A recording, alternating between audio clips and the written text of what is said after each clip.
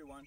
I'm here to make an assessment on a land uh, because Team Concept will do assessment on land, on a building, on properties. So right here I'm making an assessment today, this location where I'm in Gambia. So the assessment I'm making is on a 20 by 40 land, 20 by 40 land. The land, the beacon of the land starts here.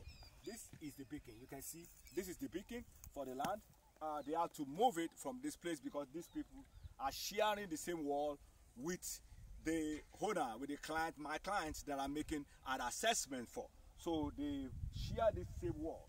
So on this side, it's going to be 40, while on this side, it's going to be 20. So let's go this way so I can see. And you can see, let just come, let's come, let's, let me, let me show you something uh, that I've discovered on this, on this. Uh, so from that part that I show you guys, goes all the way to this place where it's going to be 20 meters. From that place to this place is 20 meters. So this is the second beacon. That was the first beacon and this is the second beacon. This is the second beacon for the land. From that place to this place is 20 meters. So let's go this way. This way is supposed to be 40 meters. But before we go, I want to show you something. Let me stay on top of this place. Right here, this is the road, the common road that this site and this site, they share. This land and this land, they share this common road. So you can see this is the entrance to their own uh, space. But the thing is, where I'm standing, I'm standing at a higher point. That is something that needs to be factored in when we are doing the design. Uh, because in our uh, assessment, we look at the how flat the land is, which is the topography of the land, how high the land is, is there anything of a concern? These are the things that we look at when it comes to the assess, when it comes to the topography of the land. And this is a high point, so that means a lot when you are building, when you are making your fence or when you are building your house, that is a lot compared to that area. If you see that area, that area, when we show that area, you see that this area is, is low, is lower than this spot that I have. I am at a high point compared to that place. That means when it's rainy season, when water is coming this way, it will usually go this direction. It's coming this direction. And you can see the part that is the part of water that is going towards a slopy area. And that shows me, you can see that this vegetation in this area, see the palm trees, see how green they are in this weather. In this weather, I don't expect these palm trees to be this green at this point in time of the year. That means they are having water and they're having water, they're having good sunshine.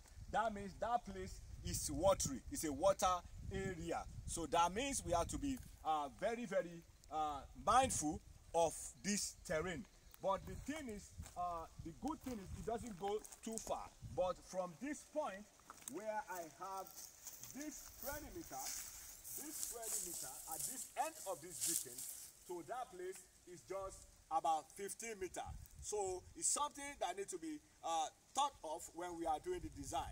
So in this one, uh, we recommend uh, in some areas to include a raft foundation. A raft foundation is a foundation that is built with reinforced concrete. Reinforced concrete is the raft foundation used that will be used in this area or in this wall or when you are building your house. And at the same time, mindful to make sure it is a raised foundation because of the terrain, because you can see the part that all the water goes this way. It flows down this way. So that is one thing you need to think about when you are considering this area. Another thing is when you from this place, it goes all the way down. So let's try to trace the 40 meter. Let's go this way.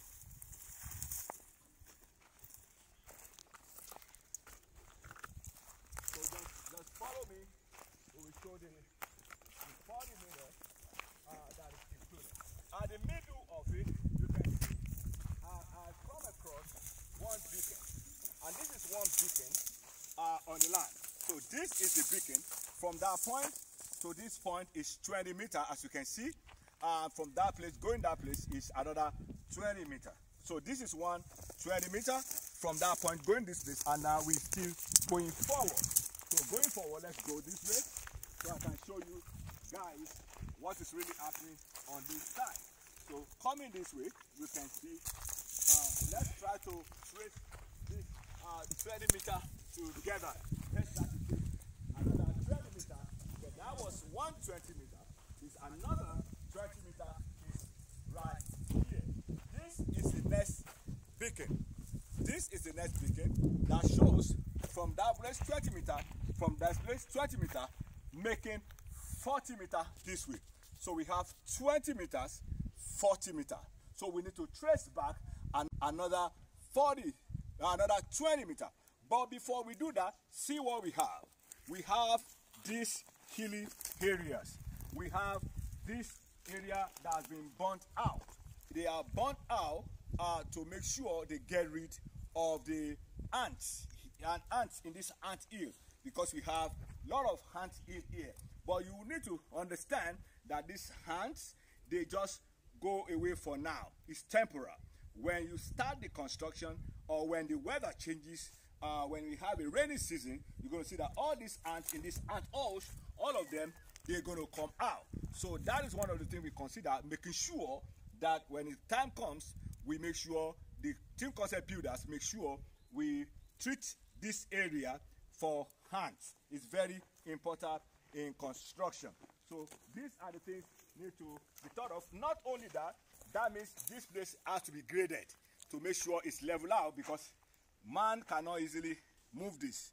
So if you put 40 men here, I don't think they can even move it. So we need uh, to grade this area. Those are the things that need to be put in consideration when it's costing is involved in making sure this place is leveled out or prepared ready for construction. So let's go. So from that spot, we need to trace another 20 meter. And uh, I have, I think I've known where that 20 meter ends. Very important. You see that we have a lot of healing area here. And this last 20 meter is actually here. I'm able to easily spot it. So you can see this is another this is another beacon. So from this beacon to that beacon, this is another beacon. So from this beacon to that beacon is 20 meter. From this beacon to that beacon is 40 meter. That is what we are talking about. That is how we're doing what we are doing. And looking at everything, apart from the top topography, accessibility is very important. This place is really accessible uh, wherever you are coming to this site. Because if you don't have accessibility to the site, it's not good. It's not good for the supply of your material. It's not good for you to be able to access your house in case of emergency. These are things that matters because somebody transporting cement or bringing stone to your place must be able to get to the place easily. These are the things that we think about. Not only that, you know there's a building around. When you have a building around in this place, having a building around, that means you can easily talk to your neighbor for supplies. You need any supply of water, you need any place to store your materials. Those are things that's happening. And you can see that some people are still constructing. So these are the area that you know that is growing and developing. So family, don't forget to subscribe. Don't forget to press that notification button. Don't forget to share this video with your family members. Blessings and blessings. Thank you. Bye.